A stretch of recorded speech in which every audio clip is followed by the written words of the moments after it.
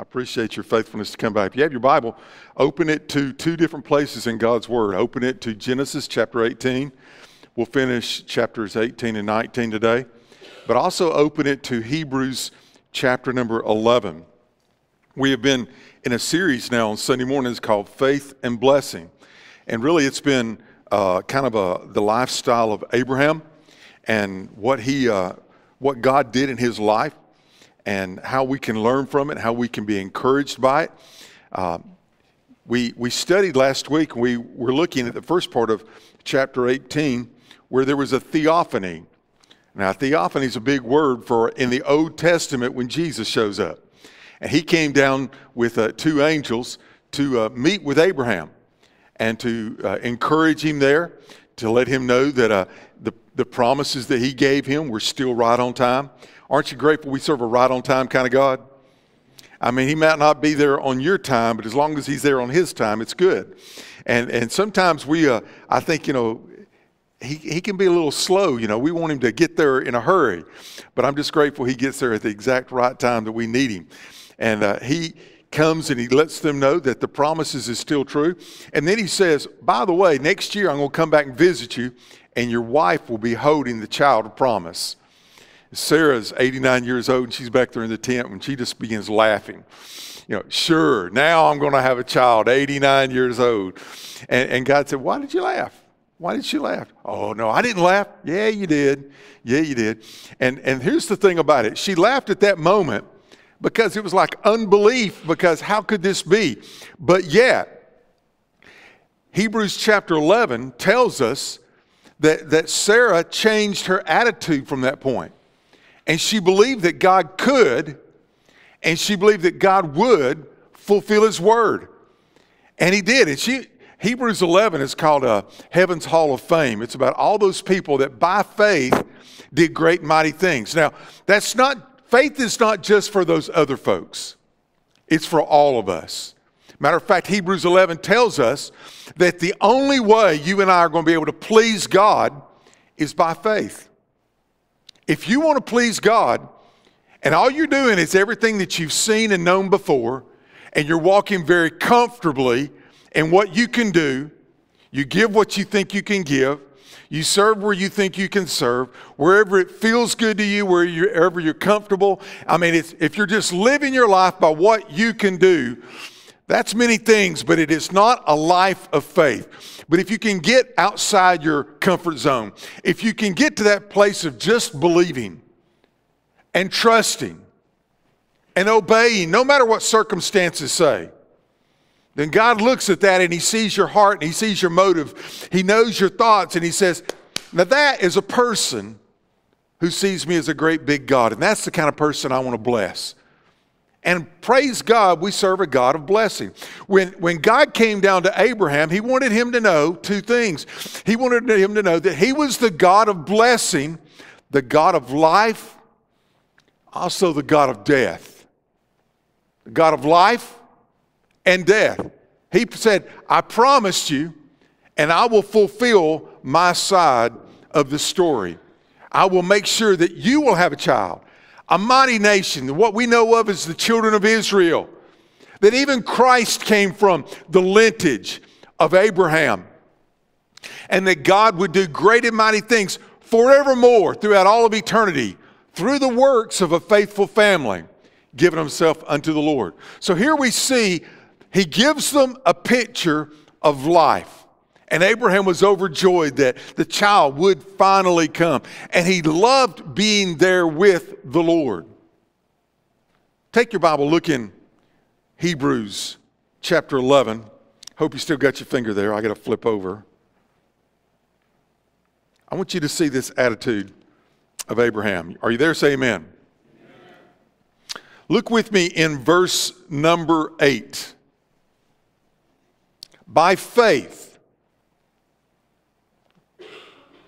Faith. You can't get around it. We're going to have to live like it. Though you don't see it yet, still trust and believe. Submit to the great wisdom of our Lord. Follow him.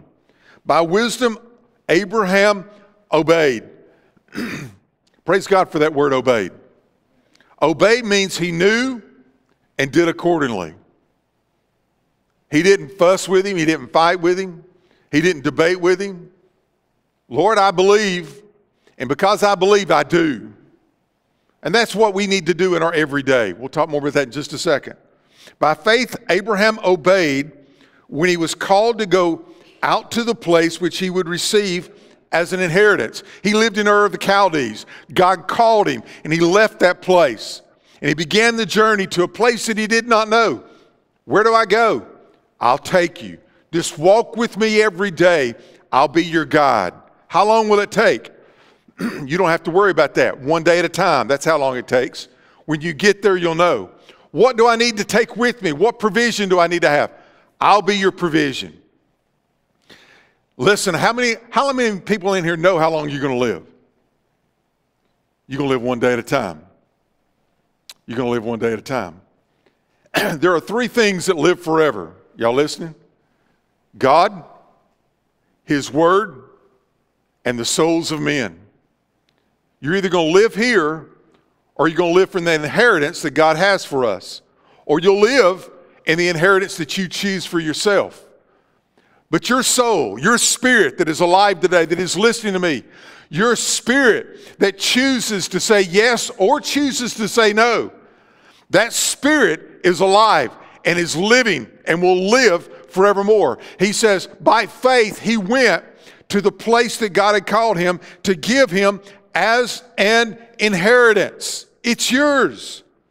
And he went out not knowing where he was going. There is a place of inheritance. Now, if you're a child of God, you've probably heard of this place called heaven. Anybody ever heard of heaven? We've been in a series on Wednesday nights for really pretty much most of COVID since we started back in uh, having Wednesday night services. And uh, we've, been, we've been in a series I called The God of the Resurrection. We're the only religion in the world's history that has a God who is alive and well. Every other one is dead. And our God, the God of the resurrection, doesn't just keep it for himself. He believes in resurrection for others. And as a matter of fact, we get to be part of that resurrection too. You see, I'm going to die once. If God tarries, in my, I'm going to die once, but that's just to this old physical body. My soul will live forevermore. Absent from the body, I'm going to be present with God. I've got an inheritance that's coming called heaven.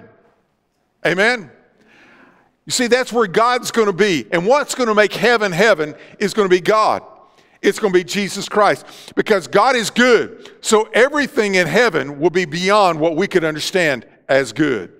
God is holy. So everything in heaven is going to be pure and righteous and, and just because he is a holy God. Everything, we should study the nature of God because as we learn of God, that's how we can learn what he's going to do for us. He gives to us himself. God is permanent. He is forever. So his gift to us will be forever more. Now listen, as Christians, we're living for the inheritance to come, but what we believe is coming affects our today. It affects our today. Because I believe there is life after this life that I'm living here. Because I believe that I get to leave this place and go and be with Him, to enjoy His splendor, I have a relationship with Him. And I get to grow to know Him. That, that's going to be the glory of heaven it's not going to be the, the city four square. If you want to know about all that, come Wednesday night. I'll be preaching about that. But I'm, I'm, I'm not worried about all those things. There's so many people that say, Yeah, I, I want heaven, I just don't want Jesus. Let me tell you, Jesus is heaven. And I get the great privilege of walking with Him now. I get the great privilege of praying to Him now. I've been up since four o'clock this morning praying for this service and praying for you and praying that the Word of God would find the right place in everyone's heart to scratch exactly where everyone is in need because His is the Word that can make it. I've been praying. We can find God in His Word. I, praise God for the encouragement that comes with people. But listen, I've got that relationship. God's forgiven me. God loves me where I am, but will make me what I need to. So one day I'll be there perfect and complete. But until then, I have a relationship with one who's helping me. Who, when I mess, not if, when I mess up, meets me there and helps me there. Someone asked one, one time, if, if there were not for a heaven and a hell, would you be a Christian? And the answer is yes. It's a better way. It's a better way. It's a better life. It's peace, it's contentment. You see, I'm looking for something to come, but it affects my today. If you're looking for something to come, but Jesus Christ is not affecting your today, I, I want to tell you, you need to check out your relationship. You need to check out, check out your salvation. Because I don't know that if you're just looking, well, I, am getting my ticket punched, I'm going to heaven one day, but I'm going to live and do whatever I want to down here, then that's not relationship. That's all about you. If you want the joy of this world, you can have it. But I'm here to tell you it's fleeting. Abraham, by faith, was looking for something to come. Look what it says in verse 9. By faith, he dwelt in the land of promise as in a foreign country. This is not my home. If you went up to the courthouse in Habersham County, they'd say that Brian and Lynn own a house. I don't own a house. That thing's going to be there. I'll be gone. My kids can fight over that house. Amen. And, and let me tell you, it's not all that you might think, right? I, I have to keep that thing up. I don't know about your house, but I got leaky faucets I got to fix. I got grass I got to cut. There, there's something about all these things that we have that's it's always falling apart. Can I get an amen? amen? I mean, that's what this earth is. It's just always just a temporary thing that we're going through. But I mean, I got something permanent. This is not my identity. Christ is my identity. If all you want to know is where I live and what I drive and how I dress and what I know and what I don't know, you're, you do not know. Because listen, Brian is defined not by how smart I am, but how great God is for me. My righteousness is filthy rags, but the blood of Jesus Christ can cleanse those filthy rags. If I had to live my life on how good I am, I'd be in trouble. I don't want to live for this world. There are so many people that this world is all that they're living for, and they're trying to grasp it. Eat, drink, and be merry, for tomorrow we die. Listen, for a Christian, be wise and humble and obey, for tomorrow we live. We live today. I don't want to live like this world. I want to live like the next world. Look what he says. I'm, I'm living here eh, like a like in a foreign country, dwelling in tents. A tent is temporary. I mean, you, you just set it up and you stay there, but you can pick that thing up and go and go to set it up in a different place. It's temporary. It will be weathered and worn. If you keep a tent long enough, I promise you one thing it's going to leak. Amen? And the, and the place that you don't think it's going to leak, it will drip on you in the middle of the night. It will age, it will deteriorate. It's wood, hay, stubble, everything of this world is going to go away. But look what he says here dwelling in tents with Isaac and Jacob, the heirs with him of the same promise. For he waited, Abraham waited for the city, not now, but he waited for the city which has foundations, whose builder and maker is God. He said, I'm here in a temporary place, but I'm looking for something that's permanent. Eternity used to scare me to death. Now I understand that that's where the best of life comes, and I'm looking so much forward to it. Looking so much forward to it. There are so many people down here that are grabbing hold and holding onto this earth. They want their health to last forever. They want to go to death as the healthiest person in the world, and, and they want to go holding on to every nickel that they've ever made, and they want to uh, have all the things that this world can give you. Listen, this, this is temporary. This is not what it's defined about. I'm going to die. Amen? It doesn't matter if a person dies a week from conception because I don't care what the world says. When a baby is conceived, it is alive. God knows it. God gives it a soul, and that child is forever God's. Amen? Abortion is, we're going to stand in America, we're going to stand before God for this sin of the murder of children called abortion. But it doesn't matter if that child dies at two weeks and it hasn't even been born yet. That child is a child of God. There are some of us that are going to see children that we've never seen before when we get to heaven. Amen? But it doesn't matter if that child's five years old and drowns in a lake. It doesn't matter if that child's 18 years old and, and, dies in a car wreck. It doesn't matter if that child's 38 years old and dies of a heart attack, or 60 years old and dies of cancer, or dies at 102 of old age. It really doesn't matter. It is appointed unto man once to die, and after that, the judgment. You're either going to live here. If all you want is what you have here, listen to me, that's all you got. If this is what you're living for, you better enjoy it while you can.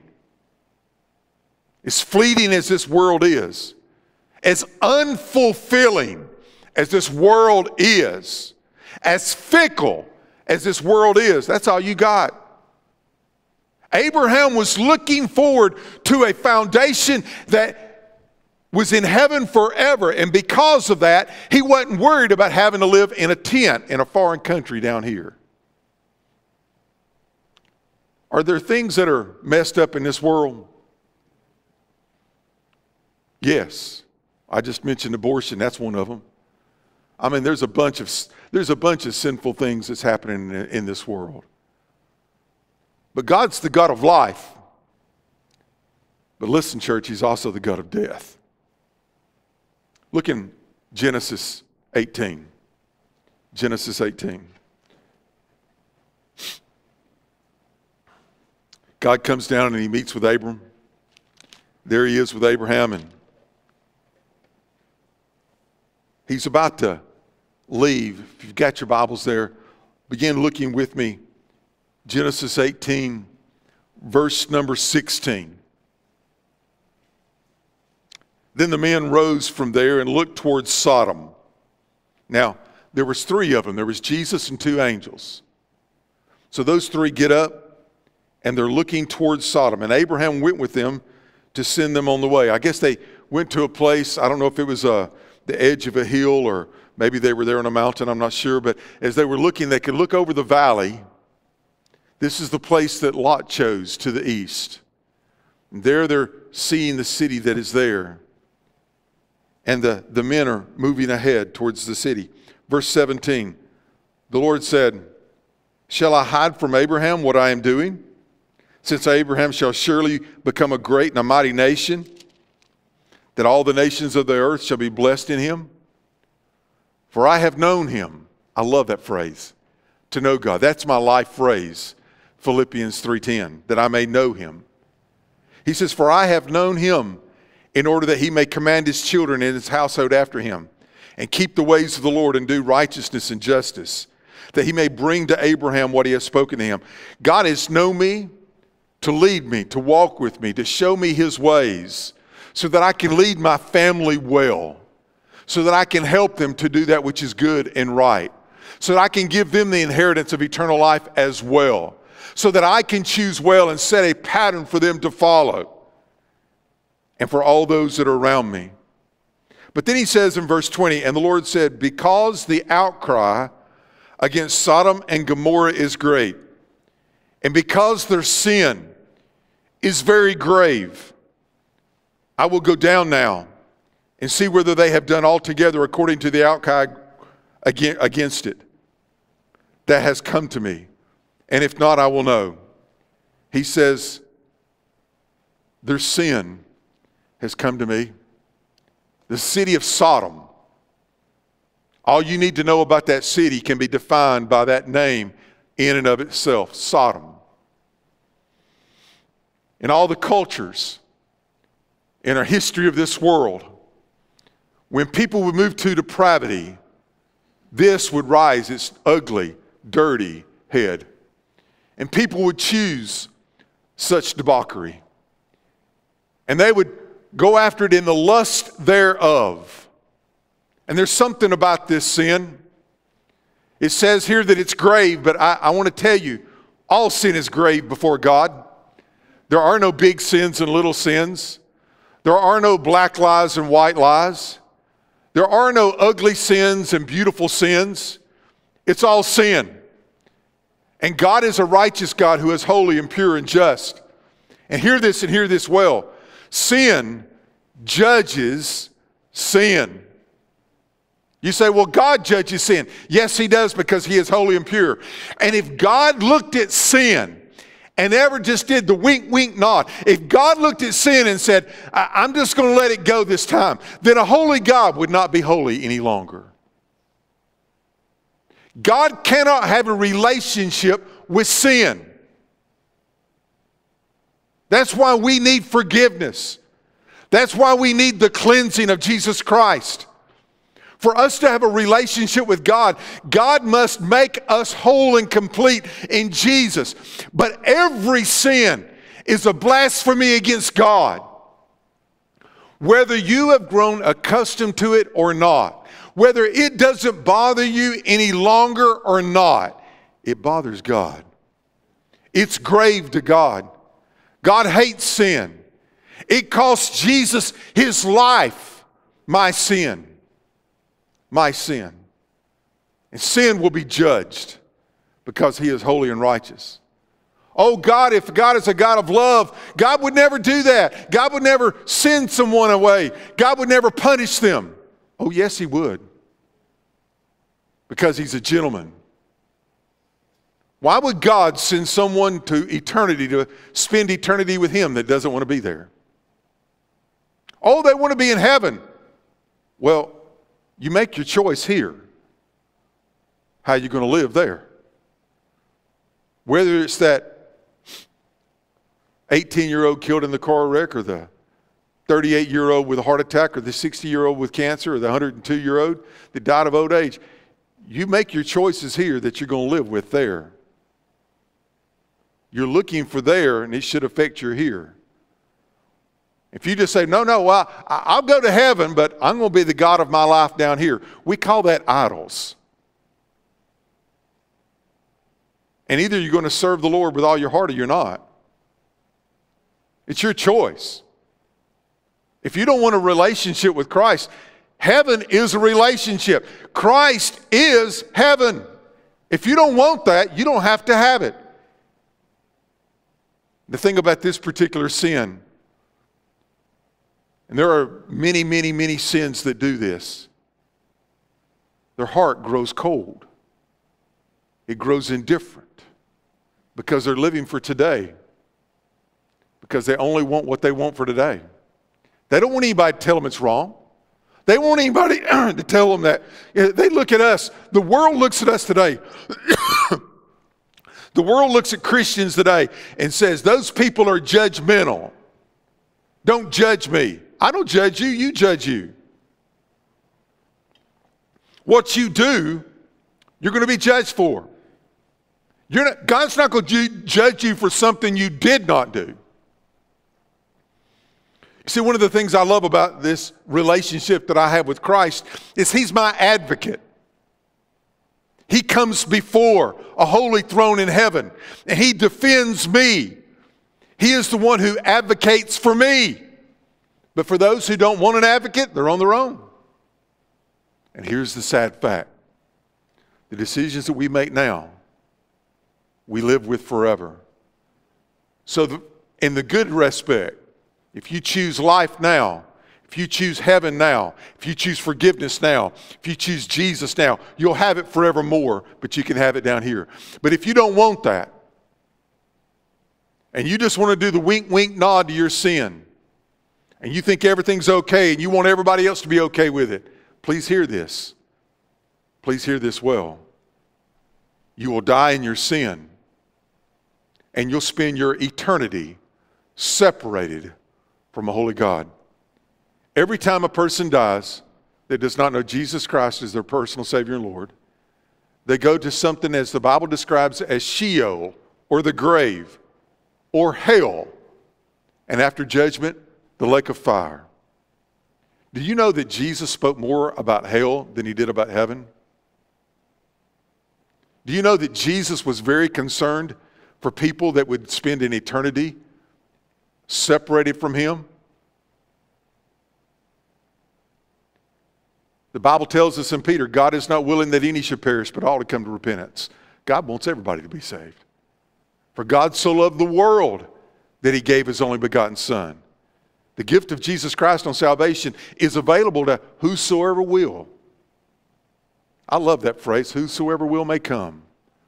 But whosoever doesn't want to, you don't have to come.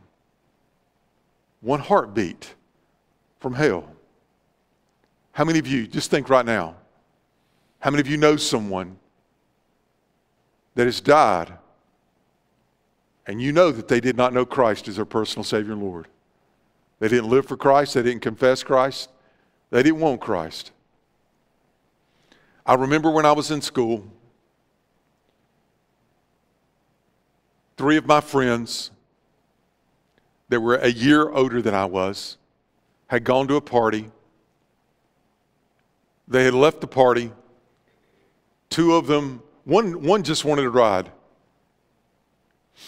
They were going down Dug Gap Road in Dalton, Georgia, over 100 miles an hour down a two lane road.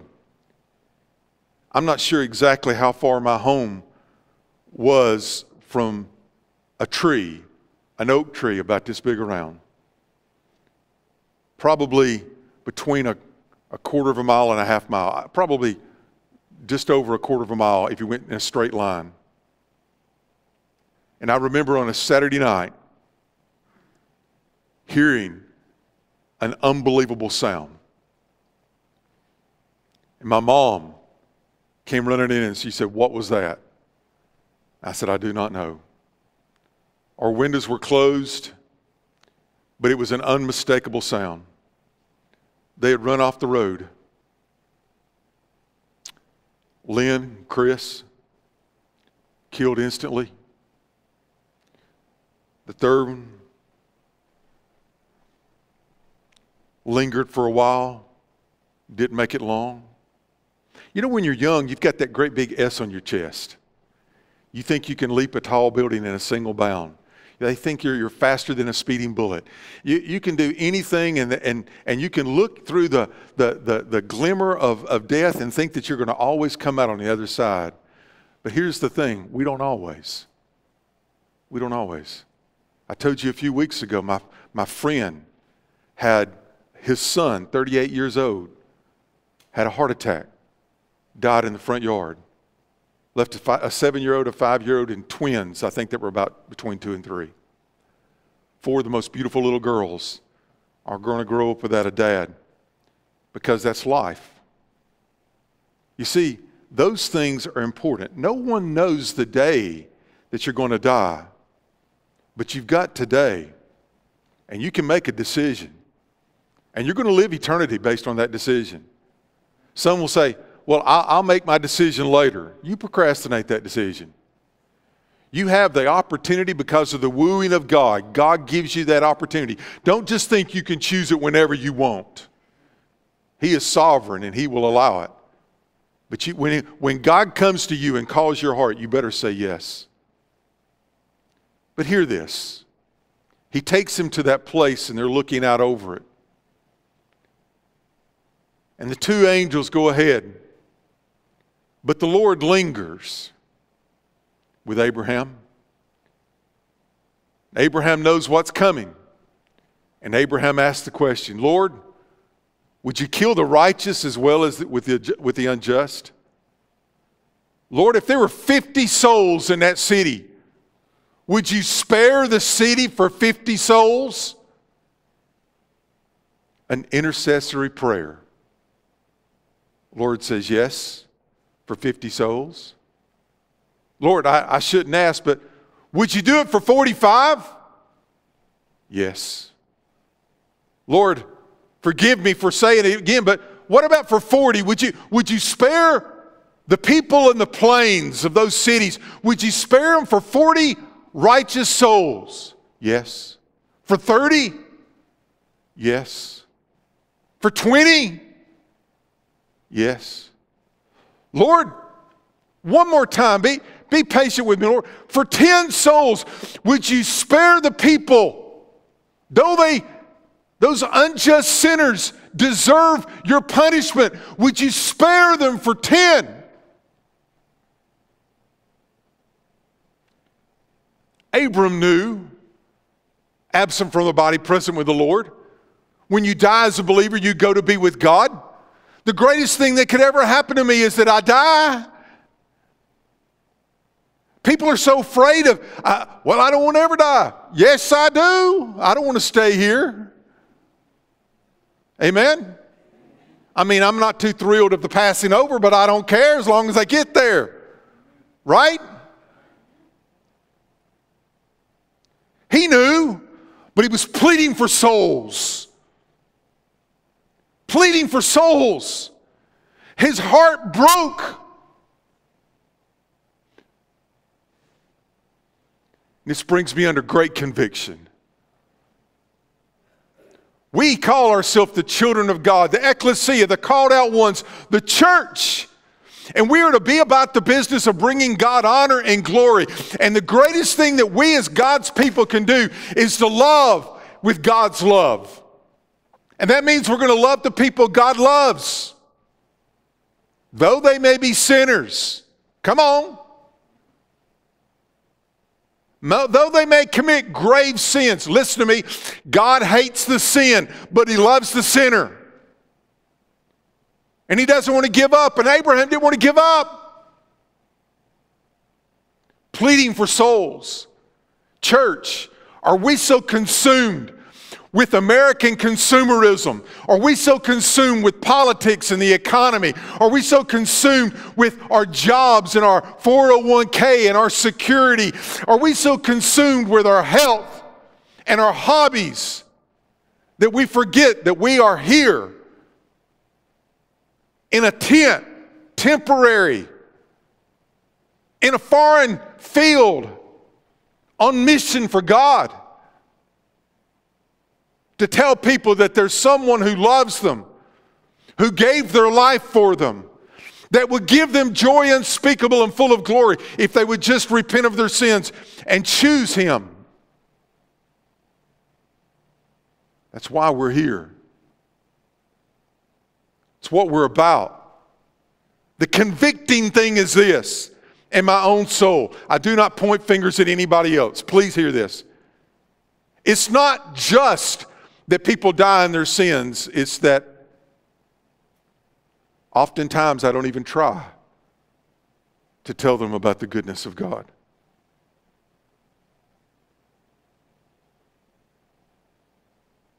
To live a life without pleading for souls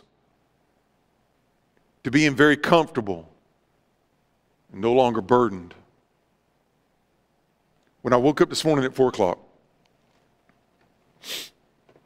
and I was praying for this sermon, and I was praying for God's blessing. You know what I began to feel in my spirit?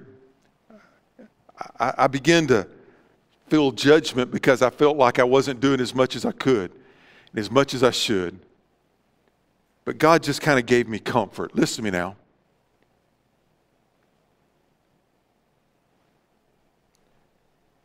And I'm not everything I'm supposed to be. But there's one thing I am, and that's grateful. God began to tell me all the things that He has done for my heart, all the things He's done for my soul, and all the things that he, all the blessings that I have. I don't know about you, but sometimes I get that chatter that just t- reminds me of every mistake I've ever made. I know y'all don't ever feel that way. And, and I can think of all the mistakes and all the things that I've done wrong and all the things that I should have said differently and all the times that I should have been loving and all the times I should have been, been patient. But yet God was just telling me, son, just understand I love you. And he reminded me of his goodness. He reminded me of all those things. And I, I want you to know, I don't want anybody to go to hell.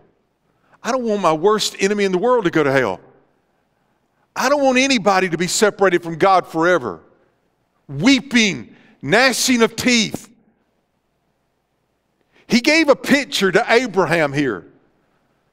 Oh, in chapter 19, those angels got there, and, and, and the people of the city did not listen. They didn't want to hear it. Lot saw them. Lot fell on his face. Lot, Lot said, Come to my house. Oh, no, we're going to spend the night in the open, open city. Oh, no, you can't do that. It's almost like Lot grabbed their arms and took them to his place. But the people of that city, they didn't want to hear any of that. They came and banged on the door and they demanded that they let those two angels out. So here's what the Bible says so that they could know them carnally. And he tried to reason with them. They were beyond reason. Tried to press him in to the point that the angels came and pulled him through the door, shut the door, and blinded them so that they would go out. And then the angel said, You got to get your family and get out of here. Get your daughters, get your, laws, get your wife, get out of here because God's bringing judgment and pushed him out early.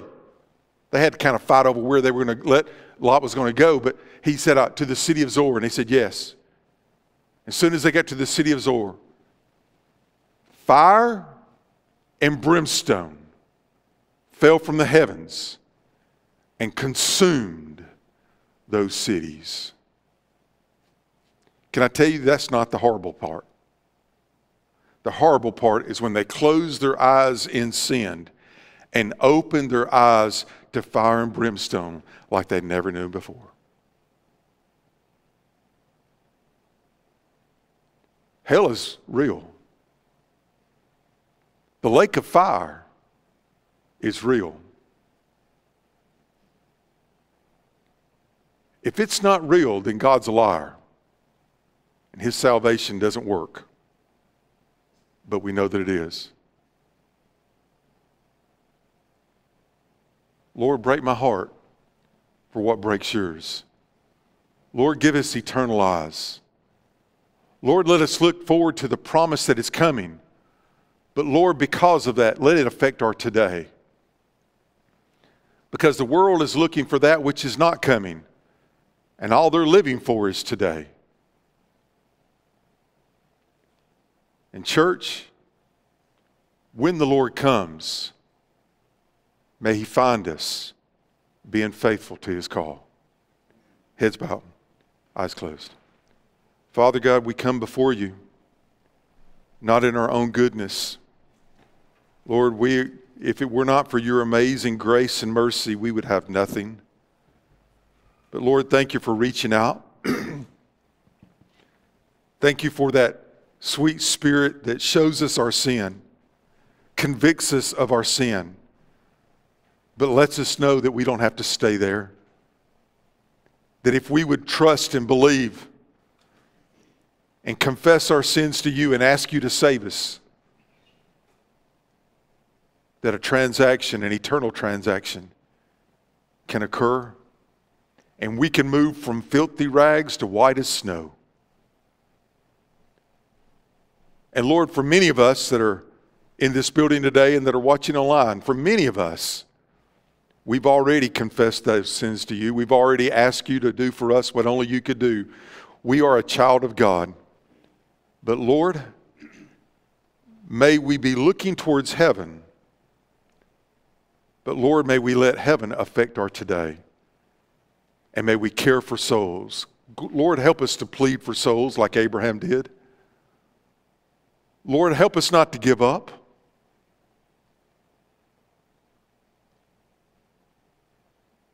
Lord, when Abraham stood on that hill and saw the smoke rising to the sky, and how his heart must have broken.